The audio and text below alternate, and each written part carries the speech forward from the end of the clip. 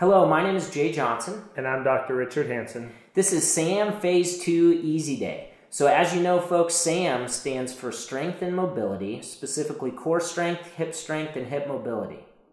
All right, core strength, easy day. So, if you, you should have watched Phase 1, and what we're doing now is just, just building on what you did in Phase 1. So, now you're doing the prone plank for 20 seconds.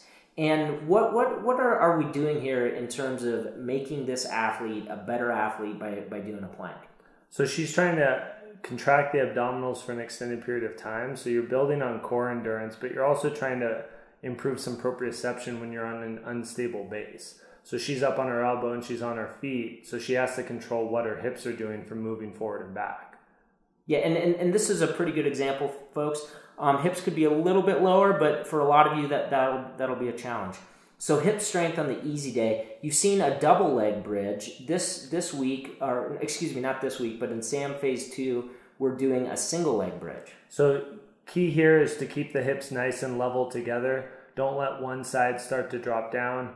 Nice, slow, and controlled with it. Lower it very slow because then you'll build on some of that eccentric strength at the hip stabilizers that we were talking about in some of the earlier videos. And, and, and, folks, note her pace. I mean, just like Dr. Hansen said, it's a very deliberate pace. It's not going fast and it's, it's going easy on, on the way down. No, and if anything, it's a one second up, two to three seconds down. Great. So a lot of you have seen clams. We've got reverse clams and reverse air clams. What, what are we working here? We're working the different internal and external rotators of the hip. We're working the capsule here when she lifts the knee, plus activating some of the lateral hip stabilizers. And, and same thing going on here with the lateral leg raise. Yeah, and I, I, again, the key with the different rotary movements is getting external versus internal motion. Plus, you're getting some adductor and some of the TFL and IT band activity when you eh, go in internal rotation or external rotation.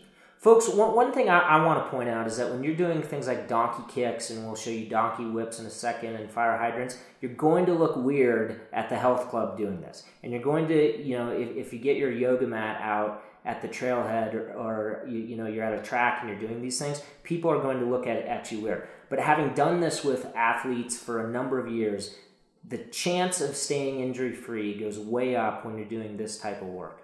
And it, bottom line is it just feels good for the, the structure at the end or at the beginning of a workout because you are creating dynamic movement at that hip to just open up the joint before or after you've just worked it pretty significantly. Folks, on the lower body crawl, you don't need to bring the knee past the hip, which is a lot. A lot of you will have the flexibility to do so. You can just bring the knee up to the the hip level like you're seeing here. And this exercise you haven't seen before, iron cross, she does a great job of keeping her shoulders mostly on the ground and keeping her upper body nice and quiet, having all the movement come at the hips. And just like gravity take you over, you don't need to force the motion. Folks, this one you might feel in your low back. If you do have some pain in your low back, don't do the Australian crawl. But what a great way to start strengthening the posterior chain. And the spine stays relatively neutral doing that um, this exercise with the, the iron cross, it's, it's about the same. You're just getting the rotation at that pelvis. You're not trying to torque the lower back by swinging across the body. Okay, folks, you haven't seen this one before. Uh, for most of you groiners, um, once you do this, it'll it'll feel right in terms of uh, 45 degree angle at the knees. And uh, yeah, we're going to end with cat cows. All right. Well, thanks, folks. You'll you'll want to tune in for SAM Phase Two Hard, and this is something that you will have built up to after several weeks.